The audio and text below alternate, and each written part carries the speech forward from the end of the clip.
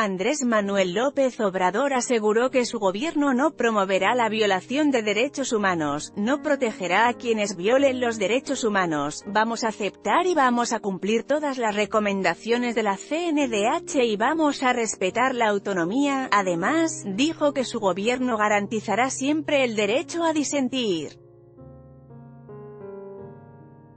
Nada por la fuerza, todo por la razón y el derecho, parafraseo a Benito Juárez. Igualmente, celebró que se haya consolidado la Comisión Nacional de los Derechos Humanos, a pesar de los pesares, sobre todo de lo que se ha padecido en los últimos tiempos, desde que se declaró la guerra a la delincuencia organizada, desde que se le pegó un garrotazo a lo tonto al avispero y nos metió en esta crisis que tanto dolor ha producido al pueblo de México, en la entrega del Premio Nacional de Derechos Humanos 2018 al doctor Héctor Fix Zamudio, destacó que será una realidad del Estado de Derecho, no va a haber Estado de chueco, Estado de Derecho, que significa independencia, autonomía, respeto de los poderes. Se termina la vieja práctica porfirista de que la Constitución se respetaba en la forma para violarse en el fondo.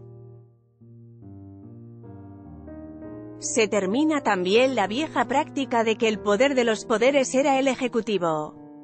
El poder legislativo y el poder judicial estaban subordinados. Eso se acabó, refrendó, vamos a convertir, añadió, en realidad el principio de los liberales del siglo XIX, al margen de la ley, nada, por encima de la ley, nadie. Y ya empezamos, envíe una iniciativa de ley para reformar el 108 constitucional y quitar el fuero al presidente. Y también la corrupción se convierte en delito grave, dijo en el Salón Tesorería de Palacio Nacional.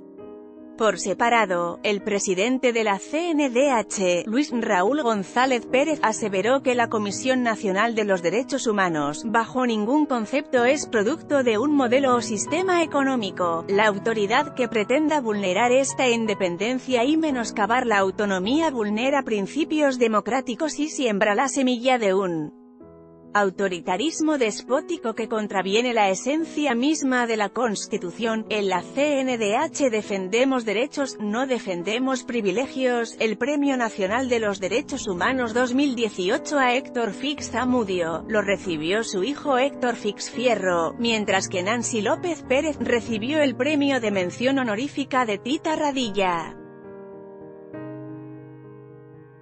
Política Consejeros del INE niegan ganar salarios ostentosos. Política Ebrard anuncia inversión de 30.000 MDD para plan migratorio